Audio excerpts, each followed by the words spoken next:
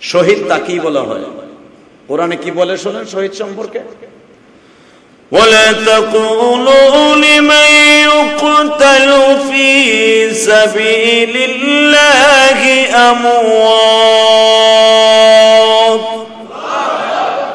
بل أحياء ولكن لا تشعرون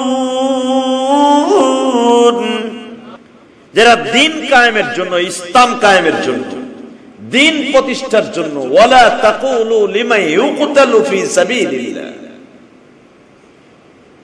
যারা দিন কায়েমের জন্য, আল্লাহর দিন প্রতিষ্ঠার জন্য, কোরআনকে প্রতিষ্ঠা করতে যাইয়া, সুন্নাহকে প্রতিষ্ঠা করতে যাইয়া, দেশ রক্ষা করতে যাইয়া, যারা জীবন দিবে, ওয়ালা তাকুলু লিমাই ইউকতালু ফি সাবিলিল্লাহ আমওয়াত যারা মৃত্যুবরণ করবে ওয়ালা কিল্লা তোমরা জানো না বান্দা, এ সম্পর্কে তোমাদের জানা নাই, এদেরকে মৃত্যু বলো না, এরা আমি আল্লাহর কাছে জীবিত। যার যখন স্বজন হারায়, সে বুঝে স্বজনের কি ব্যথা। ঠিক না? এ ছাত্র আন্দোলনে যেই আমার ছাত্র কমলমতি বন্ধুরা মারা গেছে, তার মায়ের বুকটা ফেরে দেখো। কোঠা আন্দোলনে তো সারা সাকসেস দিয়ে দিছে মানে প্রধানমন্ত্রী। সরকার রায় দিয়ে দিছে তাদের পক্ষে। কিন্তু যেই যারা আন্দোলন করে আজকে চলে গেছে কবরে, এর মা কি পাইছে? কথা বলেন না কেন? এর মারে শুধু চোখের পানি দিয়ে গেছে। সারা জীবন খালি কাঁদবে। ওই দিনটা যখন আসবে বাংলাদেশের জুলাই মাসের সতেরো তারিখ, আঠারো তারিখ, বাইশ তারিখ, মা সেদিনকার কথা মনে করে কাঁদবে, বাবা, তোরা তো কোঠা আন্দোলন করে সাকসেস তোরা ঠিকই পাইলি কোঠা। আর আমার ছেলে কবরে চলে গেল। একটা পোলার দৃশ্য দেখলাম, সে যখন তারে গুলি করছে, সে বলতেছে, ভাই, আমি কি মরে যাব? পাশের লোক বলতেছে, তুই মরবি কে? তুই এখন ট্রিটমেন্টে যাবি হসপিটালে যাবি। জানি না ছেলেটা বেঁচে আছে কিনা। তো ও যে বুঝতে পারতেছে যে আমারে গুলি করছে, আমি মনে মরে যাব। এই যে যে ওর দৌড়ত যে আমি মরে যাব, ভাই, আবেগে মানুষ অনেক কিছু করে, মৃত্যুর সময় কিন্তু মানুষ তখন বোঝে, নয় মহরম হুসাইন দুইটা বুনডে ডাকছে। দুই পাশে বসাইয়া দুই বোনকে আদর করে বলতেছে বোন রে যাই না। আমি তোর কি দিয়ে কি বলব? আমি ভাষায় কিছু বুঝতেছি না। তবে একটা কথা বলে যাই বল তোর পাঁচটা পাঁচটা ছেলে মেয়ে মারা গেছে। তোর পাঁচটা ছেলে জায়নাবের তখন পাঁচটা ছেলে শহীদ হয়ে গেছে। আল্লাহ বলতে পারলেন না? স্বামী সহ পাঁচটা পুরুষ তার ফ্যামিলি থেকে বিদায় নিয়ে গেছে। জায়নাবের স্বামীও মারা গেছে, উম্মে কুলসুমের স্বামীও মারা গেছে। উম্মে কুলসুমের সন্তানও শহীদ, জায়নাবের সব শহীদ। শুধু মা একা বেঁচে আছে, স্বামীও শেষ, সন্তানও শেষ। হুসাইন বলতেছে আমি তো তোরে কিছু দিয়ে যাইতে পারলাম না। যাইবার আগে একটা কথা বলে দিয়ে যে, তোর সাথে দামি আর কে আছে? তুই এক নম্বরে শহীদের সন্তান। কারণ আমার বাবা সতরে রমজান হুরমুজ নামে বদমাইশ আমার বাবাকে নামাজের মধ্যে শহীদ করেছে। তুই এক নম্বরে শহীদের সন্তান। দুই নম্বর একটু পরে শহীদের বোন হবি। আমার বড় ভাই হাসান, শহীদের বোন তো আগেই হয়েছ তোর বাকি ছিল পাঁচটা সন্তান স্বামী সহ। তুই এখন শহীদের বিবি। শহীদের ফুফু। একটু পরে শহীদের বোন হবি, দ্বিতীয় শহীদের বোন। জায়নাব কান্দার বলে বাইরে তুমি কি ভাবতেছ? তুমি যদি আমার অনুমতি দাও, আমি বোরকা পরে ইবনে জিয়াদ, ওবায়দুল্লাহ ইবনে জিয়াদ নাম ছিল আর ওবায়দুল্লাহ, ওর বাবার নাম ছিল জিয়াদ। ইতিহাসে পাওয়া যায়, এই জিয়াদ ছিল অবৈধ সন্তান। অবৈধ সন্তান ছাড়া কোনদিন নবীর কলিজার টুকরা সন্তানের সাথে বেয়াদবি করতে পারে না। কথা বলেন না কেন? ভালো করে জিয়াদ জিয়াদ বলা হইল বোনটা বারবার বাড়ির কাছে বলতেছে, বাইরে, আমি তো মহিলা মানুষ, অন্তত আমার স্বামী সন্তান সবাই মারা গেছে। আমার তো আর কেউ নাই আমি বোরকাটা পরিধান করে ওবাইদুল্লাহ আপনি জিয়াদের কাছে যাই আর শিমুরের কাছে যাই। ওদেরকে যাই অনুরোধ করে বলি, তোমাদের কাছে আমরা কিচ্ছুই চাই না, আমার ভাই হোসাইনকে শুধু ভিক্ষা চাই। হয়তো আমার দিকে তাকাইয়া অনেক সাহাবি আছে কারণ আমি আমার নানার কোলের থাকা অবস্থা আমার নানা ইমামতি করছে।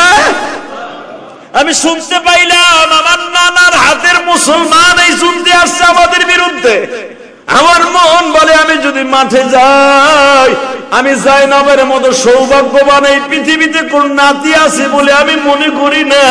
কারণ আমার নামে এক, দুই অক্ত নয়, অনেক নামাজ আমার নানা আমার কোলে করে ইমামতি করছি।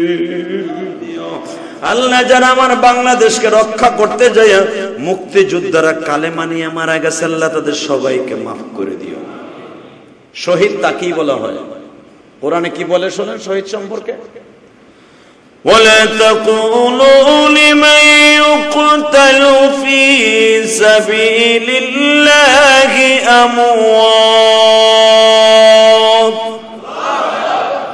بل أحياء ولكن لا تشعرون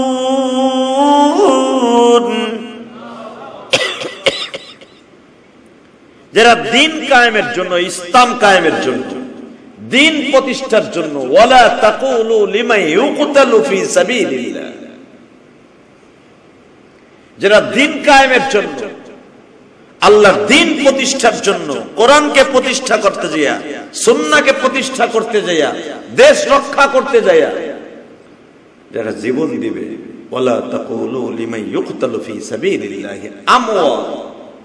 যারা মৃত্যুবরণ করবে তোমরা জানো না বান্দা, এ সম্পর্কে তোমাদের জানা নাই, এদেরকে মৃত্যু বলো না, এরা আমি আল্লাহর কাছে জীবিত।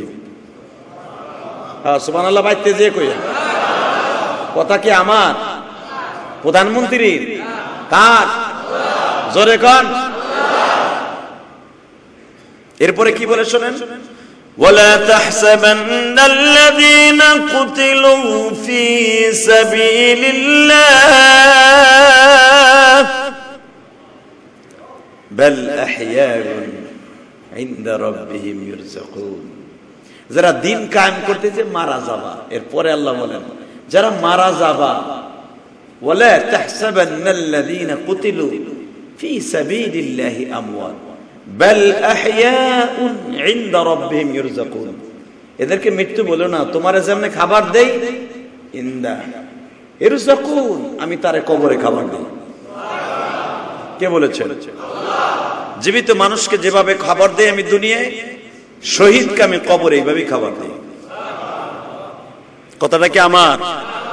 শহীদরা আপনি কি মনে করেন? এই যে ফিলিস্তিন যারা মারা যাবে, প্রত্যেকটা মানুষ মুসলমান যদি হয়ে থাকে ডাইরেক্ট সে জান্নাতি এবং ডাইরেক্ট সে শহীদ।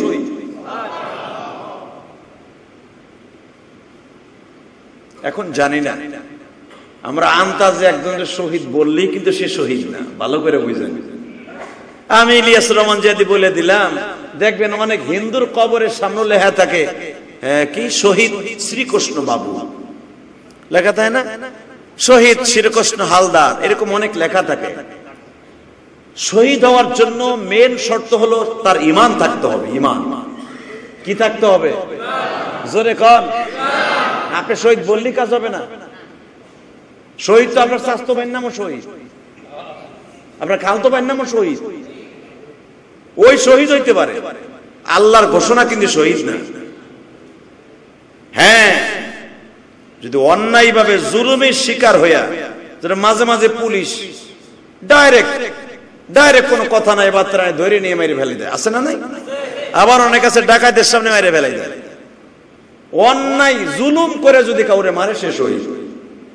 আলহামদুলিল্লাহ বলেন জালেমের অত্যাচারে যদি কেউ জুলুমের অতিষ্ঠিত হইয়া, এখানে দিন কায়েম শর্ত না। এখানে যদি জালেমের অত্যাচারে অতিষ্ঠ হয়ে মারা যায়। কেউ জুলুম করে মেরে ফেলো কালি কালি, বেটার কোনো অপরাধ নেই। সে মুসলমানের সন্তান, সে শহীদ। কারণ তার জীবনের যত গুণা আছে, সব মাফ করে গুণাগুলো চলে যাবে যে তারে মারছে তার ঘরে আর তার জীবনের যত নেকামল আছে চলে যাবে ওই লেকটার ঘরে এই জন্যই তাকে বলা হয় নিষ্পাপ, শহীদ ডাইরেক্ট জান্নাতে চলে যাবে। মহরম মাসে দুই হাজার চব্বিশ সালে। স্মরণ হয়ে থাকবে বাংলাদেশে। বাংলাদেশের ইতিহাসে এত ক্ষতি বাংলাদেশে কোনোদিন কোনো আন্দোলনে হয় নাই। কথা কন না কেন? আল্লাহ, আপনি এই ক্ষতিটা আপনার পক্ষ থেকে করে দিয়েন আল্লাহ। আল্লাহ পুরা করে দেন আপনি আল্লাহ। আল্লাহ আমাদের সবাইকে আপনি হেফাজত করেন। আমার যে ছাত্র বন্ধুরা, কমলমতি কলিজার টুকরা, আমার দরদিরা তারা রাস্তায় নেমেছিল তাদের আন্দোলনের জন্য। আল্লাহ যারা অসুস্থ আছে, তাদেরকে সুস্থ করে দেন। আরে ভাই, আমার সন্তানরাও যদি অসুস্থ হইতো আন্দোলনে যায় এখানে অনেক লোক আছেন। রাস্তায় তার ছেলেটা গেছে আন্দোলনে, বোঝে নাই ও বোঝে নাই, সবাই নামছে। ক্লাস সেভেনের পোলাও গেছে। একটা পোলার দৃশ্য দেখলাম, সে যখন তারে গুলি করছে, সে বলতেছে, ভাই, আমি কি মরে যাব? পাশের লোক বলতেছে, তুই মরবি কে? তুই এখন ট্রিটমেন্টে যাবি হসপিটালে যাবি। জানি না ছেলেটা বেঁচে আছে কিনা। তো ও যে বলতে পারতেছে যে আমারে গুলি করছে, আমি মনে মরে যাব। এই যে যে ওর দৌড়ত যে আমি মরে যাব, ভাই, আবেগে মানুষ অনেক কিছু করে, মৃত্যুর সময় কিন্তু মানুষ তখন বুঝে। এই যারা গলায় রশি দেয়, আপনি মনে রাখবেন, গলায় ফাঁস দিয়ে মরে। ফাঁস দেওয়ার আগ পর্যন্ত শয়তান সাহেব আপনার গাড়ে তায় যখন রশিটা আপনার নরুলিতে আটকে যায়, তখন কিন্তু শয়তান আপনার কাছে থাকে না। তখন কিন্তু আপনি বাঁচার জন্য অনেক চেষ্টা করেন। দুনিয়া সব মখলুক মৃত্যুর যখন সময় ঘনায় আসে, বাঁচার জন্য অনেক চেষ্টা করে, যারা বিষ খায়, এন্ডি খায়, নাপাক জিনিস খায়, যারা মারা যায়, মনে রাখবেন, মরার আগে রাগে, ক্ষোভে অনেক কিছু মানুষ জিদে অনেক কিছু করে। যখন তার মৃত্যুর সময় আজরায়েলের থাবা শুরু হয়ে যায় তখন ওই মানুষটা বাঁচার জন্য অনেক চেষ্টা করে। মানে এই পৃথিবী ছেড়ে কেউ যেতে চায় না। ঠিক না? বাজানরে তার জ্বলন্ত প্রমাণ এখন আমি আপনাদের সামনে তুলে দেই দেশ রক্ষা করার জন্য। শহীদ এত সহজ নয়। কারবালা প্রান্তরে যারা মারা গেছে, তারা কিন্তু ডাইরেক্ট শহীদ। এই মহরম মাসে কারবালার ইতিহাস আপনাদের সামনে সব ইমাম খতিবরা বর্ণনা করে। শহীদ কারে কয় রে ভাই হোসেন যাদের বিরুদ্ধে জেহাদ করবে, মাঠে নামবে, একটাও কিন্তু মুসলমান ছিল না। কথা কন না কে? অনেক সাহাবি ছিল, বিশ্ব নবীর হাতে কালেমা পড়া সাহাবি। আপনি কি মনে করলেন? ইয়াজিদ যে জালেম তো রসুলের হাতের কালেমা পড়া মুসলমান। আল্লাহ আকবার বলতে পারলেন না? এজিদের বাবা মুয়াবিয়া, খবরদার। এজিদকে গালি দিতে গিয়ে মুয়াবিয়াকে গালি দিবেন না। খবরদার। মুয়াবিয়াকে গালি দিতে যাওয়ার সাথে সাথে আপনি কাফের হয়ে যাবেন। আপনি কি মনে করলেন মুয়াবিয়াকে?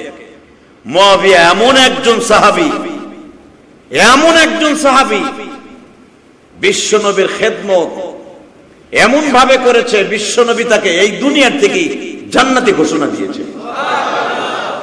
এখানে শেষ না? মবিয়া দশ জন কাতেবে ওহি, অর্থাৎ কোরআন শরীফ যারা লেখছে, ওই জামানায়, কোরআন শরীফ যাদের ওসিলে আমরা পেয়েছি, কোরআন শরীফ যারা লিখেছেন আমাদের পর্যন্ত, আজকে বাইতু সুজুদ পর্যন্ত মসজিদে বাইতু সুজুদ পর্যন্ত, এই হেফজখানা পর্যন্ত কোরআন যারা পৌঁছাইছে, তার ভিতরে এক নাম্বার অবদান এই মহাবিয়া এজিদের বাবা। মহাবিয়া খবরদার। বাংলাদেশের কিছু বন্ড আছে কিট তারা মহাবিয়ারে গালি দেয়। মহাবিয়া সম্পর্কে তো জানা আছে মহাবিয়াকে মহাবিয়ারে গালি দিলে পুরা কোরআন শরীফ বাদ হয়ে যাবে।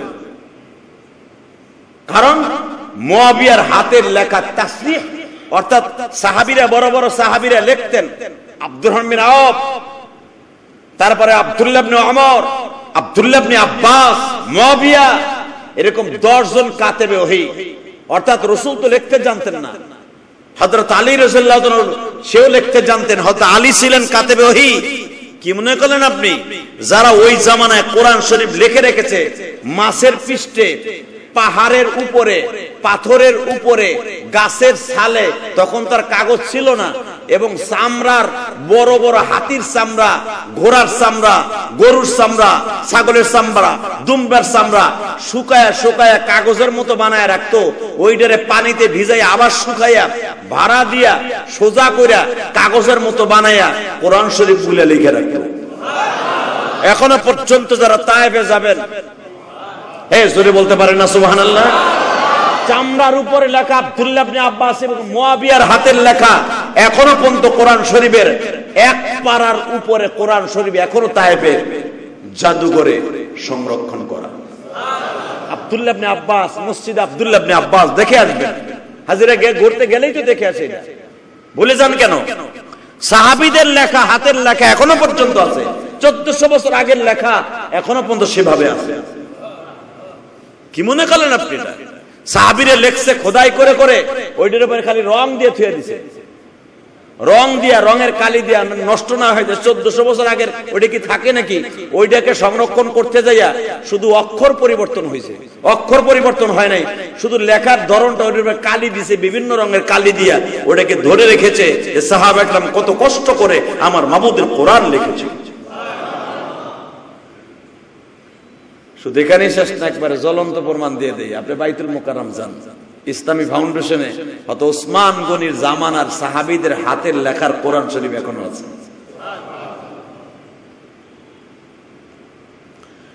ভাইরা, আমার বন্ধুরা, আমার ভালো করে বুঝবেন, এজিদকে গালি দিতে তার বাবারে গালি দিবেন না।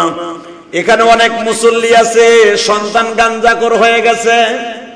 সন্তান পথভ্রষ্ট হয়ে গেছে, বন্ধুর মহলে পড়িয়া, বন্ধুর প্রবাঞ্চনায় পড়িয়া, বাবা একজন তাবলিগ ওয়ালা বাবা একজন হাদিস সাহেব, বাবা একজন আলেম মানুষ, বাবা একজন শেখুল হাদিস মানুষ।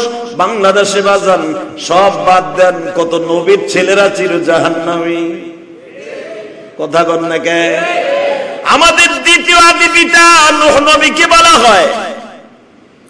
আদি পিতা কিন্তু দুইজন। প্রথম হলো আদম আলাইহিস সালাম, দ্বিতীয় হলো নূহ আলাইহিস সালামকে দ্বিতীয় আদি পিতা বলা হয়।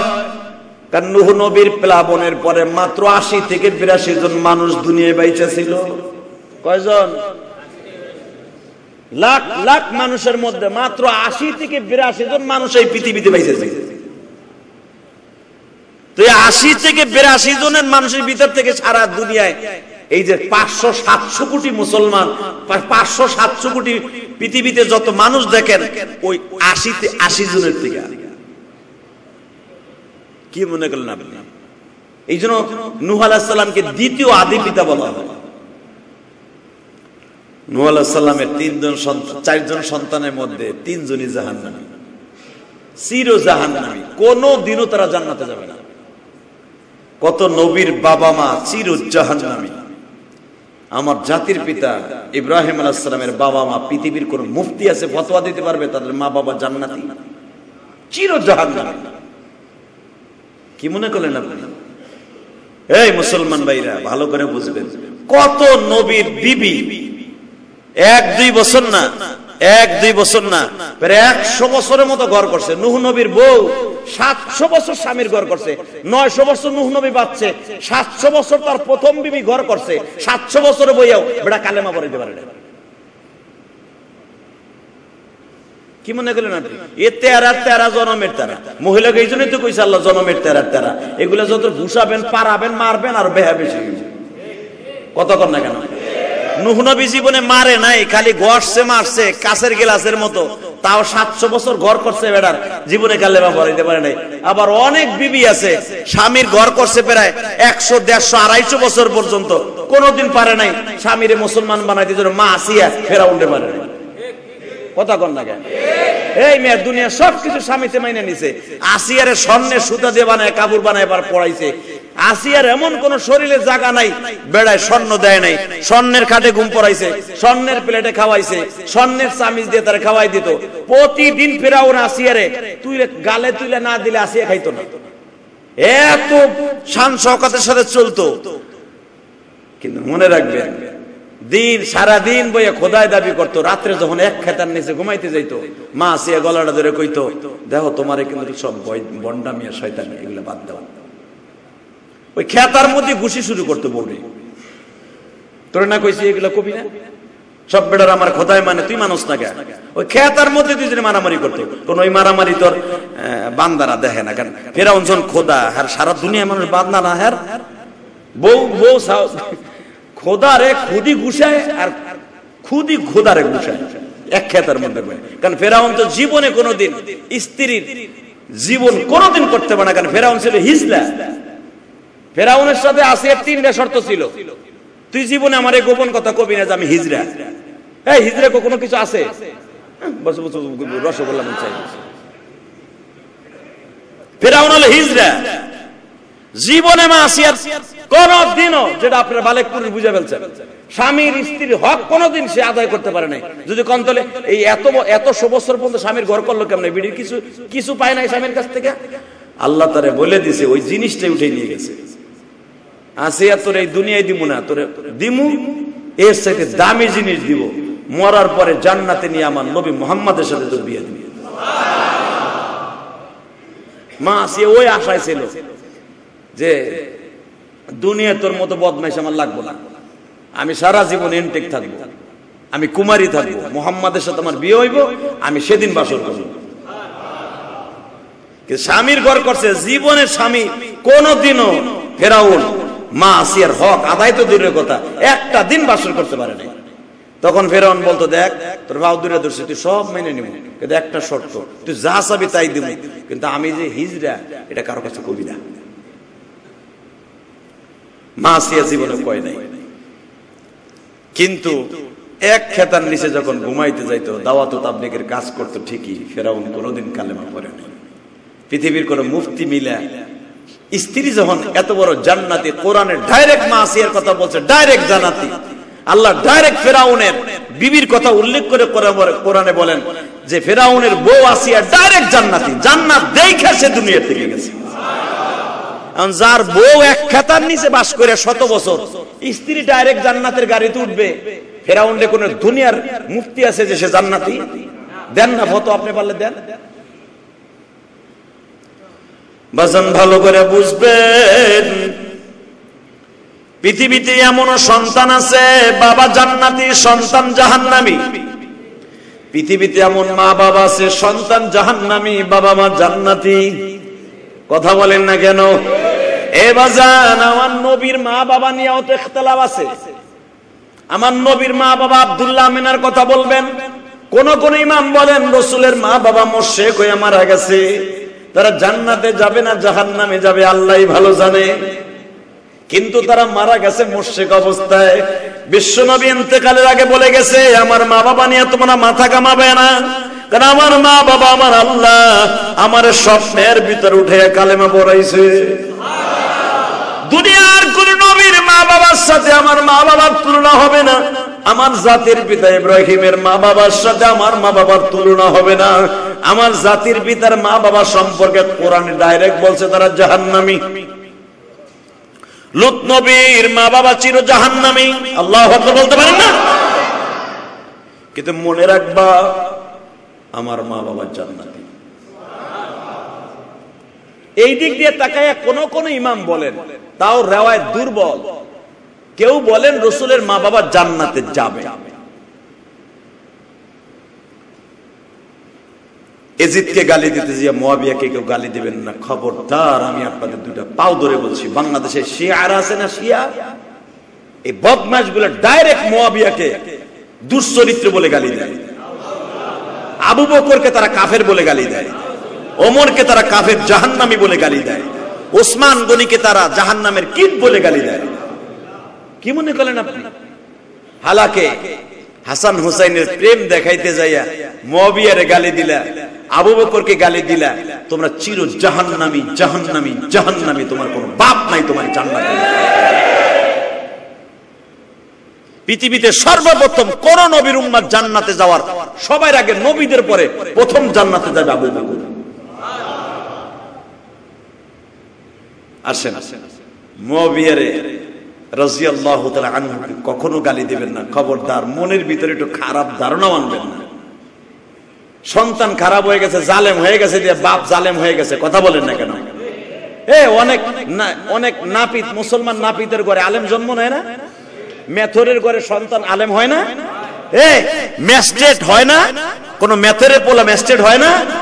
এমনও আছে, কামলা বাবা গরুর গাড়ি চালায়, সেই রংপুর, উত্তরবঙ্গ।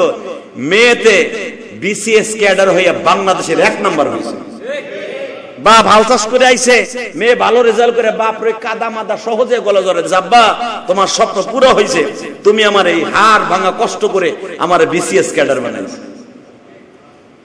এরম ইতিহাস আছে না? এই জন্য বাপ কলম লেখ কাও ক লাগতে যে কলম ভাঙে তিনটা, হালাকে মেয়ে বিসিএস ক্যাডার, ছেলে বিসিএস ক্যাডার, কি মনে করলেন আপনি? গোবরের মধ্যে পদ্ম ফুল ফুটে থাকে, আছে না না? বহুত ছেলে মেয়ে আছে বহুত ছেলে মেয়ে আছে। বাপ রিক্সা চালায়, ভ্যান গাড়ি চালায়, তরকারি বেচে। তরকারি বেচনেওয়ালার মেয়ে বাংলাদেশে গোল্ডেন এপেলাস পাইয়া সারা বাংলাদেশের উজ্জ্বল নক্ষত্র হয়ে যায়। আছে না? আছে। ভালো করে বুঝবেন। ইয়াজিদ ইবনে জিয়াদকে বলেছিল, আমি জীবিত অথবা মৃত চাই। যুদ্ধ যখন শুরু হয়ে গেল, নয় মহরমের কথা বলছি এখন। কারণ পুরো মহরম মাসটাই হুসাইনের ইতিহাস চলবে, আলহামদুলিল্লাহ বলেন। সবচেয়ে পরিতাপের বিষয়, নয় জুলহাজ, নয় মহরমটা ছিল আহলে বায়াতের জন্য সবচেয়ে মারাত্মক। পৃথিবীর ইতিহাসে পৃথিবীর ইতিহাসে এরকম মারাত্মক ভয়াবহ বিপদ কোনদিন আসে নাই। নবীদের পরে সেই দিনটা হলো নয় মহরম আল্লাহ আকবর বলেন। যদি বলেন সেটা এত বড় ভয়াবহ কোন দিক দিয়া? শোনেন। হোসাইন যখন বুঝে ফেললেন যে এরা আর কিচ্ছু চায় না, হোসাইন তিনটা অপশন দিছিলেন। খালি না বুঝে শুনে এই যে বাংলাদেশে কতগুলো আছে? হাই হোসেন হাই হোসেন দিয়ে ঘোড়া বানায় গত সময় বলছি না?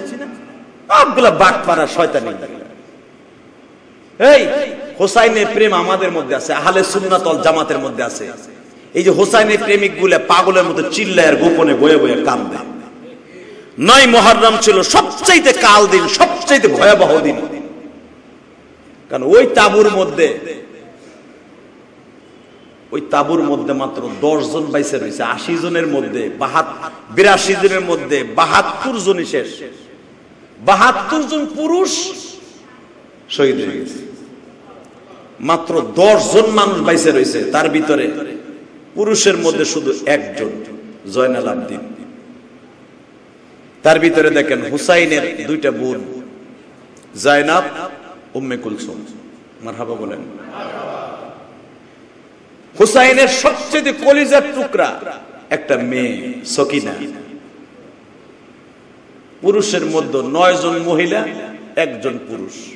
আর পুরুষটার বয়স মাত্র দশ থেকে এগারো বছর। এই নয় জন মহিলার একাই ছেলেটা কি করবে তাই বলেন কত নিষ্ঠুর ছিল নয় মহরম। কত হৃদয় বিদারক ছিল নয় মহরম। মনে রাখবেন, যার যখন স্বজন হারায়, সে বুঝে স্বজনের কি ব্যথা। ঠিক না? যে ছাত্র আন্দোলনে যেই আমার ছাত্র কমলমতি বন্ধুরা মারা গেছে, তার মায়ের মুখটা ফেরে দেখো। কোঠা আন্দোলনে তো তো সারা সাকসেস দিয়ে দিছে মানে প্রধানমন্ত্রী। সরকার রায় দিয়ে দিছে তাদের পক্ষে। কিন্তু যেই, যারা আন্দোলন করে আজকে চলে গেছে কবরে, এর মা কি পাইছে? কথা বলেন না কেন? এর মারে শুধু চোখের পানি দিয়ে গেছে। সারা জীবন খালি কাঁদবে।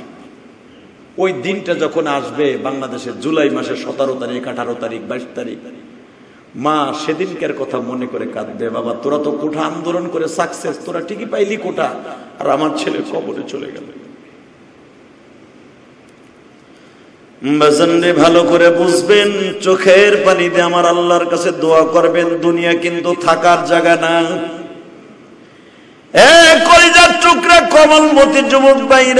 দুনিয়া থাকার না। যে চলে যেতে হবে, কার হায়াতে জানে না। হুসাইনের মধ্যে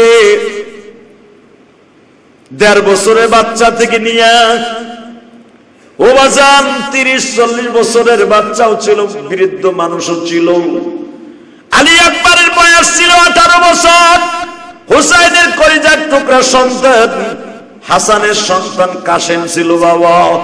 অর্থাৎ কাশেমের সাথে সকিনের বিয়ে হয়েছিল। এখনও পর্যন্ত সকিনের হাতের মেহেদি এখনও দাগ যায় নাই। ও বাজান, এই মুহূর্তে কারণ হাসান ইন্তেকালের মাত্র কয়েক মাস ক্ষমতায় ছিল হজরত হুসাইন। হুসাইনকে চক্রান্ত করে নেওয়া হয়ে গিয়েছিল ইরাকে, কুবায়। হুসাইন কখনো জানতেন না আমি দামেশকে গেলে। কুফায় গেলে আমার এসিড চক্রান্ত করে মেরে ফেলবে, এটা কোনোদিনও জানতেন না। হাসান ইন্তেকালের মাত্র কয়েক ঘণ্টা আগে হুসাইনের হাতটা ধরে বলে বাইরে আমি তোর কাছে একটা জিনিস চাইয়ে যাই রে ভাই।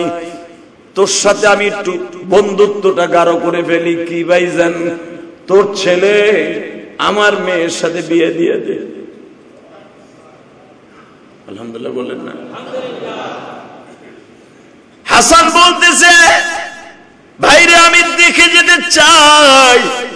তোর সকিনের সাথে আমার কাশেমের বিয়ে হয়েছে কারণ একটু পরে আমি নানার সাথে দেখা করব। আমি নানারে যে বলব, নানা, আমরা দুই ভাইয়ের ভালোবাসা এতই মধুর ছিল গো, নানা।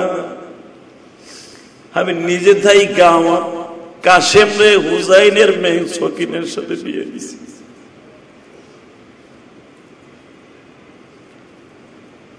বাজান নেই।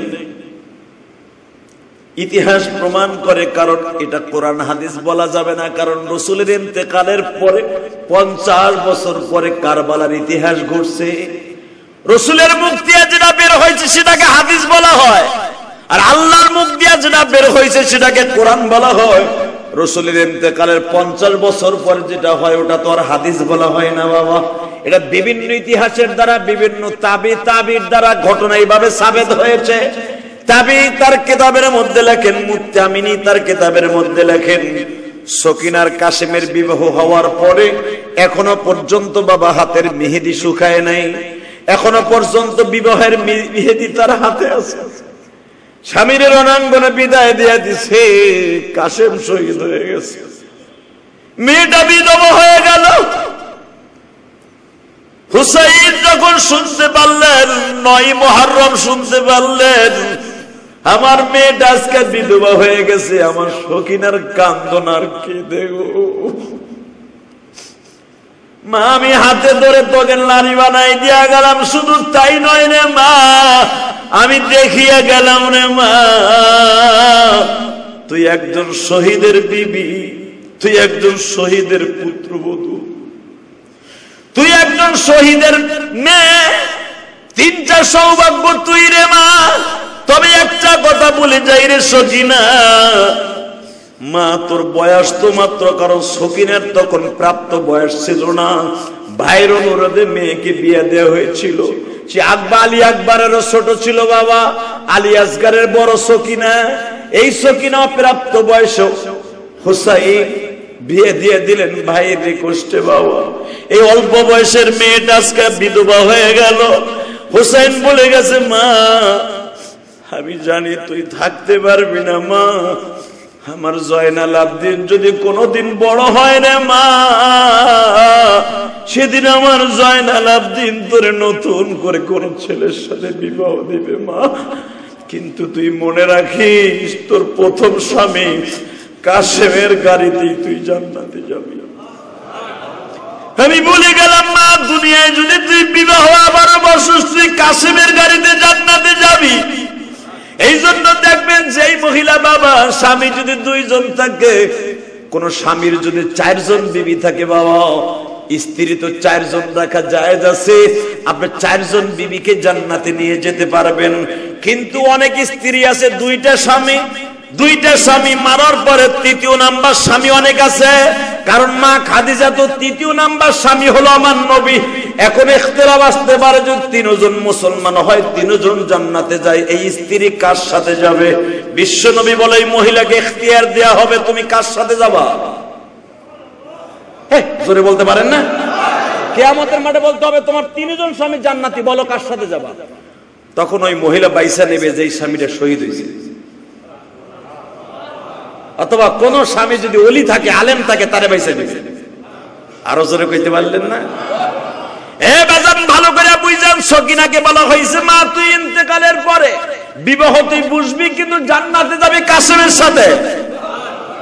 আমি বাবা, তোরে ঘোষণা দিয়ে গেলাম, ও মা, ভালো করে থাকবি, বিলাপ করবি না, মারামারি চুল টানবি না।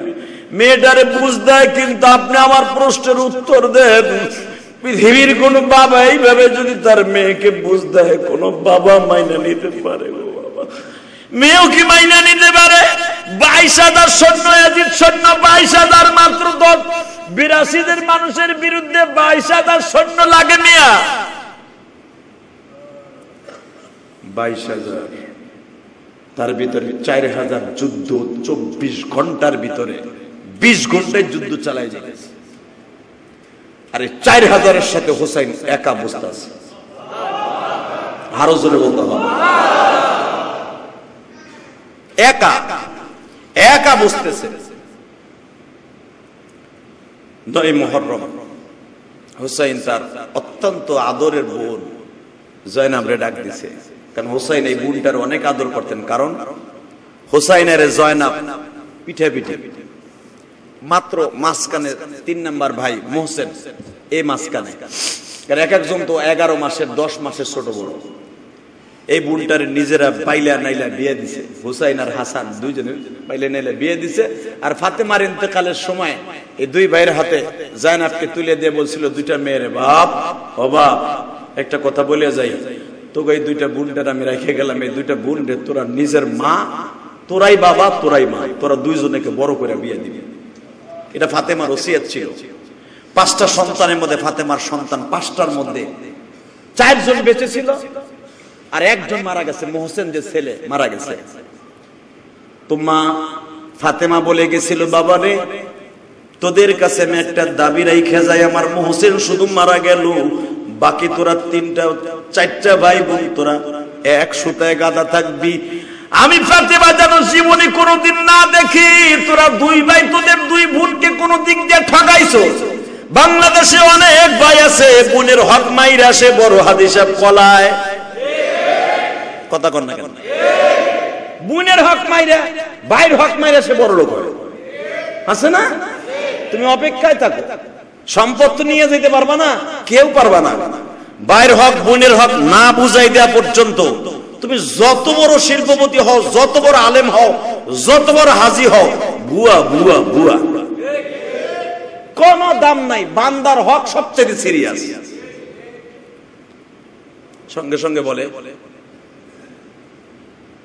তোরা চারটা ভাই বোন এক সুতায় বাধা থাকবি। এদেরকে পাইলে নেলে নিবি। ঠিক ঠিক নয় মহরম হুসাইন দুইটা বোন ডাকছে। দুই পাশে বসাইয়া দুই বোনকে আদর করে বলতেছে বোন রে যাই না। আমি তোর কি দিয়া কি বলব? আমি ভাষায় কিছু বুঝতেছি না। তবে একটা কথা বলে যাই, বোন, তোর পাঁচটা পাঁচটা ছেলে মেয়ে মারা গেছে। তোর পাঁচটা ছেলে, জায়নাবের তখন পাঁচটা ছেলে শহীদ হয়ে গেছে। আল্লাহ বলতে পারলেন না? স্বামী সহ পাঁচটা পুরুষ তার ফ্যামিলি থেকে বিদায় নিয়ে গেছে। জায়নাবের স্বামীও মারা গেছে, উম্মে কুলসুমের স্বামীও মারা গেছে। উম্মে কুলসুমের শহীদ, জায়নাবের সন্তানগুলোও সব শহীদ। শুধু মা একা বেঁচে আছে, স্বামীও শেষ, সন্তানও শেষ। হুসাইন বলতেছে বোন রে আমি তো তোরে কিছু দিয়ে যাইতে পারলাম না। যাইবার আগে একটা কথা বলে দিই যে, তোর সাথে দামি আর কে আছে? তুই এক নম্বরে শহীদের সন্তান। কারণ আমার বাবা সতরে রমজান হুরমুজ নামে বদমাইশ, আমার বাবাকে নামাজের মধ্যে শহীদ করেছে। তুই এক নম্বরে শহীদের সন্তান।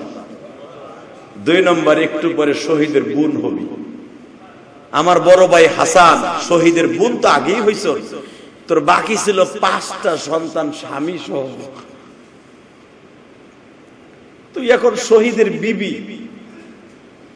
শহীদের ফুফু, একটু পরে শহীদের বোন দ্বিতীয় শহীদের বোন জায়নাব কান্দার বলে বাইরে তুমি কি ভাবতেছ? তুমি যদি আমার অনুমতি দাও, আমি বোরকা পরে ইবনে জিয়াদ ওবাইদুল্লাহ ইবনে জিয়াদ নাম ছিল আর ওবাইদুল্লাহ ওর বাবার নাম ছিল জিয়াদ। ইতিহাসে পাওয়া যায় এই জিয়াদ ছিল অবৈধ সন্তান। অবৈধ সন্তান ছাড়া কোনদিন নবীর কলিজার টুকরা সন্তানের সাথে বেয়াদবি করতে পারে না। কথা বলেন না কেন? ভালো করে বুঝবেন এই জিয়াদ, উবাইদুল্লাহ আপনি জিয়াদ, উবাইদুল্লাহকে বলা হইল বুনটা বারবার বাড়ির কাছে যা বলতেছে, বাইরে, আমি তো মহিলা মানুষ। অন্তত আমার স্বামী, সন্তান সবাই মারা গেছে। আমার তো আর কেউ নাই। আমি বোরকাটা পরিধান করে উবাইদুল্লাহ জিয়াদের কাছে যাই আর শিমুরের কাছে যাই। ওদেরকে যাই অনুরোধ করে বলি, তোমাদের কাছে আমরা কিচ্ছুই চাই না। আমার ভাই হোসাইনকে শুধু ভিক্ষা চাই। হয়তো আমার দিকে তাকাইয়া অনেক সাহাবি আছে, হয়তো আমার চিনতে পারে। কারণ আমি আমার নানা আর কোলের থাকা অবস্থা আমার নানা ইমামতি করছে? আমি শুনতে পাইলাম আমার নানার হাতের মুসলমান এই শুনতে আসছে আমাদের বিরুদ্ধে। আমার মন বলে, আমি যদি মাঠে যাই, আমি যাই নামের মতো সৌভাগ্যবান এই পৃথিবীতে কোন নাতি আছে বলে আমি মনে করি না। কারণ আমার নামে এক দুই অক্ত নয় অনেক নামাজ আমার নানা আমার কোলে করে ইমামতি করছি। অন্তত আমি তাদের দুইটা পাও ধরে বলব, আমার ভাইটারে তোমরা কেড়ে নিও না। ওই যে রংপুরের আবু সাহেদের বুনটার কান্না দেখছ যুবকরা? বুনটা মাইকর বর হাতে নিয়ে সঙ্গে সঙ্গে বারবার কাঁদে আর বলে, আমার ভাই অমকে প্লাস পাইছে, আমার ভাই তমক ভালো রেজাল্ট করছে। আমার ভাইটারে কেন তোমরা কেড়ে নিলা? কেন এই বিলাপগুলা করছে জানো? বোন বুঝে ভাইয়ের কি দরদ?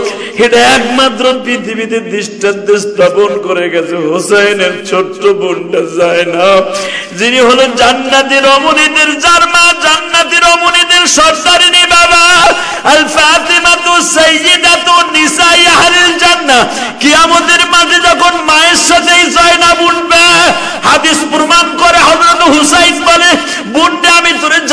ঘোষণা দিয়ে গেলাম। তুই এতগুলা শহীদের আত্মীয় কোনদিন জাহান্নামে যেতে পারস না।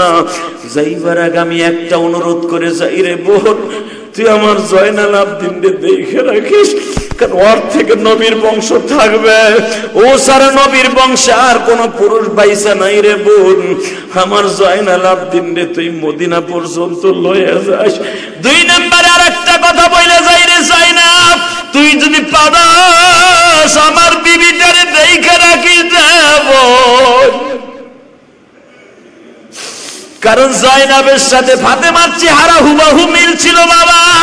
ফাতে জয়নাবরে দেখলেই হজরত হুসাইন মনে করতেন, আমার মা বুঝে বাইসা হোবাজান এই জন্য জয়নাবকে হুসাইন অনেক ভালোবাসতেন, হাসান অনেক ভালোবাসতেন।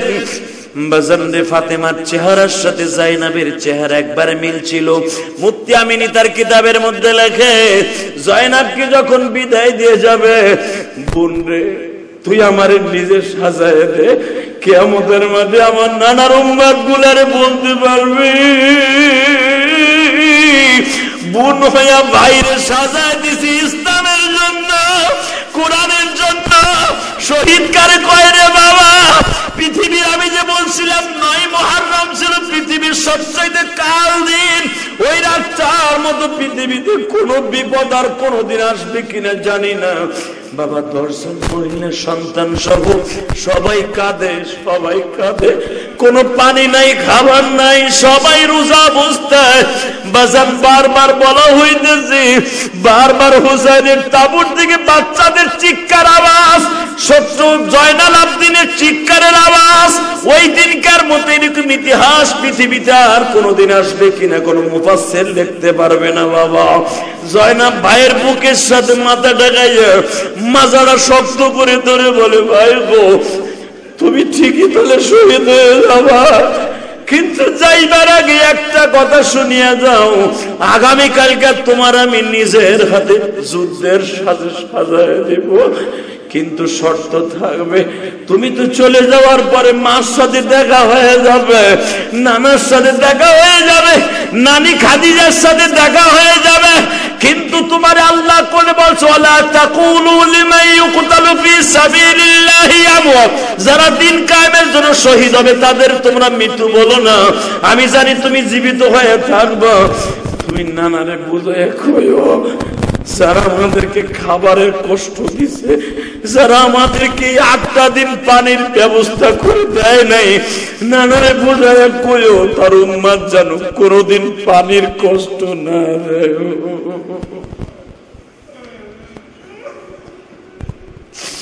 আমার মুসল্লি ভাইরা বাবা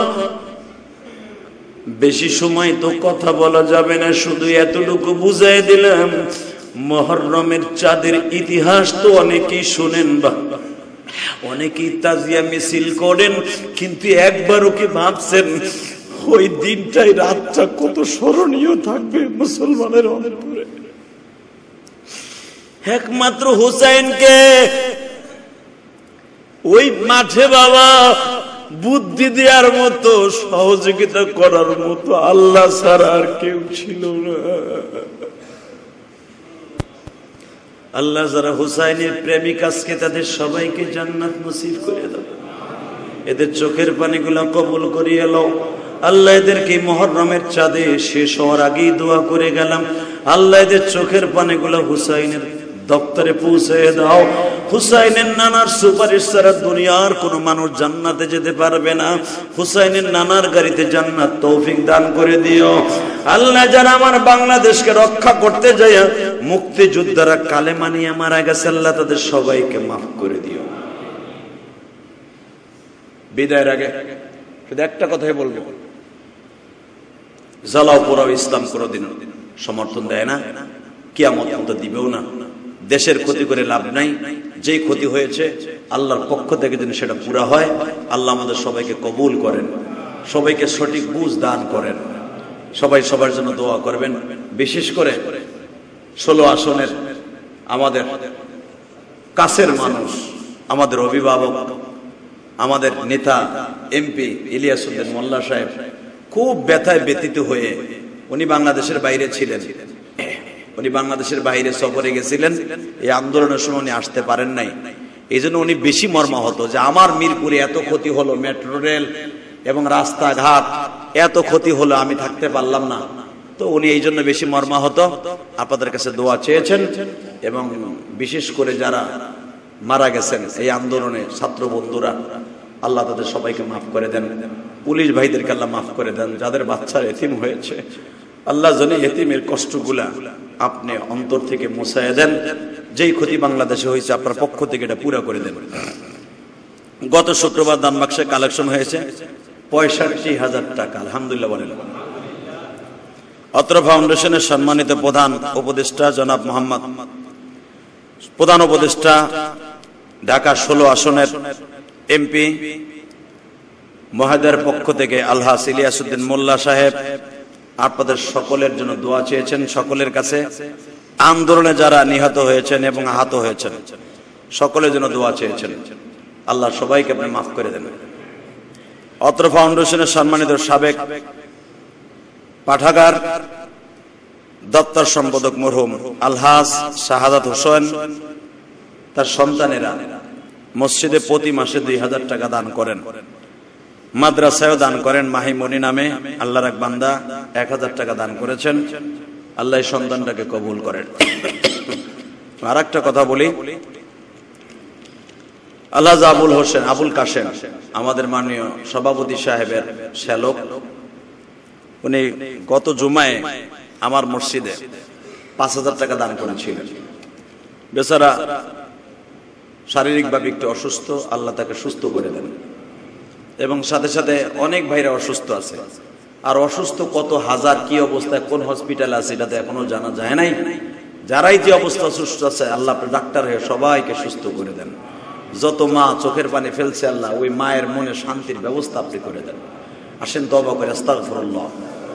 রব্বি মিন কুল্লি জাম্বি অত ইলাইহি, লা হাওলা ওয়ালা কুওয়াতা ইল্লা বিল্লাহিল العلي العظيم لا إله إلا الله محمد رسول الله সবাই সবার জন্য দোয়া করেন আর আসলে এই আন্দোলনের কারণে অনেক দ্রব্যমূল্যের দাম বেড়ে গেছে তাই না অনেক দাম বাড়ছিল বাগুনের কেজি একশো চল্লিশ টাকা কেজি আমার মাদ্রাসার লেগে এই আন্দোলনের ভিতরে তাহলে আপনারা অনেক কষ্টে আছেন এটা আমি জানি আপনারা যেন কষ্টে আছেন আপনারাও বাজার করে খান আমিও তো বাজার করে খাই সবার জন্য দোয়া করি আল্লাহ যেন বাংলাদেশের সব মানুষের দ্রব্যমূল্যের দাম অন্তত নিজের হাতের ভিতরে থাকে সমর্থনের ভিতরে থাকে এ আল্লাহ পাক সবাইকে করে দিক আল্লাহ আমাদের সবাইকে মাফ করে দিক সবাইকে সুস্থ রাখেন ভালো রাখেন আল্লাহ যারা যে অবস্থায় যেখান থেকে দোয়া চাইছে প্রত্যেকের মনের আশা করে করেন আল্লাহ আমিন ربنا ظلمنا انفسنا وان لم تغفر لنا وترحمنا لنكونن من الخاسرين ربنا فاغفر لنا ذنوبنا وكفر عنا سيئاتنا وتوفنا مع الأبرار. ربنا آتنا في الدنيا حسنة وفي الآخرة حسنة وقنا عذاب النار. رب العالمين محرم ما بدين جاي. তোমার কোরআনের ভাষা চারটা মাস তোমার কাছে দামি, আর বাতুল হরম। এই চারটা মাসের মধ্যে একটা মাস প্রথম বছরের মাস মহরমের চাঁদ। এই চাঁদে শুধু হুসাইনের জন্য নয়, কারবালা প্রান্তরে যারাই মারা গেছে, যারা শহীদ হয়ে গেছে, তাদের সবাইকে আপনি তারা তো অবশ্যই জান্নাতি গো মালিক। বিশেষ করে হুসাইনের সাথে যারা শাহাদাতের সুদা পান করেছে তাদের ওসিলায় আমাদের সবাইকে তুমি মাফ করে দিও আল্লাহ। এই মহরমের চাঁদে খেয়ে যেন এই আন্দোলনে বাপ হারায় ফেলছে? খেয়ে যেন সন্তান হারায় ফেলছে আল্লাহ। কোন পুলিশ ভাই, কোন আনসার ভাইয়ের সন্তান জানোয়ার বাপ বলে ডাকতে পারবে না। কোন মায়ের কুল খালি হয়ে আসছে, কবরের মাটি কারও কপালে হয়েছে কিনা জানি না। আল্লাহ কত মানুষকে বেওয়াল আওয়ারিস হিসাবে দাফন করছে। জিজ্ঞেস করলে আজকে পেপারে আসছে, দেখলাম কত লাশ বেলাওয়ারিস হিসাবে দাফন করা হয়েছে। মানুষ জিজ্ঞেস করলে বলে রামজুমানের পক্ষ থেকে করা হয়েছে। মাবুদ্রে কোন মায়ের সন্তান কোথায়, কেমনে কোন কবরে পড়ে আছে জানি না। আল্লাহ যারা ইমান নিয়ে মারা গেছে, প্রত্যেকের কবরটা জান্নাতের বাগান বানায় দেয়। আল্লাহ লাওয়ারিস অবস্থায় যায় বেলাওয়ারিস অবস্থায় যায়। ওই কবরে তো সবারই যেতে হবে গো আল্লাহ। কবরে যাইবার আগে তুমি কালে মাসারা ডাক দিও না ও। ওই কবরে কেমনে একা একা থাকব? একা ঘরে ঘুমাইতে পারি না। আজকে মারা গেলে আসরের পরে আমার রেখে আসব ওই কবরস্থানে। যেখানে দেখবার মতো কেউ নাই রে। কোথায় থাকবে আমার বাড়ি? কোথায় থাকবে আমার গাড়ি? কোথায় থাকবে আমার নারী? সবাই আমার কথা ভুলিয়া যাবে। একমাত্র তুমি ভুলবা না। তুমি একমাত্র আমার পাশে থাকবা, তুমি ডিক্লারেশন দিছ? বান্দা, যেই সময় তোর কেউ আছে থাকবে না থাকব শুধু আমি একা। আল্লাহ কাফনের কাপড়টা শরীরে জড়াইবার আগে ইমানকে ঠিক করে দিও আল্লাহ। আমাদের জনম দুঃখিনী মা বাবা যারা কবরে, তাদের সবাইকে মাফ করে দাও। মানের সংসদ সদস্য ষোলো আসনের মানের সংসদ সদস্য ইলিয়াসুদ্দিন মোল্লা সহ। কামাল মজুমদার সহ অনেকে দোয়া চেয়েছে আল্লাহ, যারা অসুস্থ হয়ে গেছে আন্দোলনে কমলমতি আমার ছাত্র বন্ধুরা, হসপিটালের বেডে মৃত্যুর যন্ত্রণায় কাতরাইতেছে আল্লাহ। তাদের সবাইকে তুমি সুস্থ করে দাও রে আল্লাহ। মায়ের কোলে সন্তানরা ফিরাইয়া দাও, সন্তানের কোলে বাবারে ফিরাইয়া দাও। ভাই, আমরা তো আন্দোলনে যারা গেছি, যারা অসুস্থ হই নাই, তারা অসুস্থতার মর্ম বুঝব না। আল্লাহ যারা যে অবস্থায় অসুস্থ হয়ে হসপিটালের বেডে আছে, পুলিশ ভাইরাও তো অনেক অসুস্থ হয়ে হসপিটালের বেডে। আল্লাহ আমার ভাইদেরকে তুমি সুস্থ করে দাও। আল্লাহ যারা যে অবস্থায় মারা গেছে ইমান নিয়ে সবাইকে তুমি শাহাদাতের সুদা পান করাও। আল্লাহ আমাদের সবাইকে কবুল করে এলো আল্লাহ খাস করে যারা যে অবস্থায় আছে, তাদের সবাইকে তুমি মাফ করে দাও আল্লাহ। আল্লাহ আমার দেশটাকে তুমি সুন্দরভাবে রাখো সমস্ত দুষ্কৃতির হাত থেকে আমার বাংলাদেশকে হেফাজত করো সমস্ত দুশ্মনের হাত থেকে হেফাজত করো সমস্ত শয়তানের অসহস্য থেকে হেফাজত করো আল্লাহ আমার বাংলাদেশে অনেক দেশের ইহুদিন আসারাদের চোখ পড়ছে আমার দেশটাকে অশান্তি বিরাজ করার জন্য অনেক চেষ্টা করতেছে আল্লাহ সবাইকে সঠিক বুঝ দান করো আমার বাংলাদেশটাকে আল্লাহ সমস্ত বিপদ থেকে তুমি রক্ষা করো আল্লাহ সরকারি ভাবে জান মালের যা ক্ষতি হয়েছে আল্লাহ আপনার গাইবি খাদানার থেকে পুরো করো আল্লাহ। গাইবি খাদানার থেকে পুরো করে দাও আল্লাহ। আল্লাহ মেট্রো সহ যত ফ্লাইওভার, যত টুল অফিস যা কিছু ক্ষতি হয়েছে আল্লাহ, আপনার গাইবি খাজানার থেকে আপনার কুদরাতি হাত দিয়ে হেফাজত করেন আল্লাহ। আল্লাহ তাড়াতাড়ি আমার বাংলাদেশের ক্ষতিপূরণগুলো আপনার পক্ষ থেকে করে দেন। দ্রব্য মূল্যের দাম আপনার নিয়ন্ত্রণের ভিতরে আসার তৌফিক দান করে দেন। আল্লাহ যারা দোয়া চাইছে, আবুল কাশেম ভাই সহ, আল্লাহ যারা এই মসজিদের কমিটিতে যারা মসজিদ মশাই দান করছে, তাদের সবাইকে কবুল করেন। আল্লাহ এক- বান্দা আমার মাদ্রাসায় এতিম ছেত্রদের খাবারের ব্যবস্থা করছে। আল্লাহ মানিকগঞ্জ থেকে তোমার এক পাগল দোয়া চেয়েছে, মাদ্রাসায় হাজার হাজার টাকা দান করে, মসজিদে দান করে। আল্লাহ তার সন্তানগুলোকে ভালো রেখো, সুস্থ রেখো।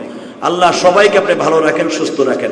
ওসল্লাহ তাআলা আলা খায়রি খালকিহি নূরি রাহমাতিহি।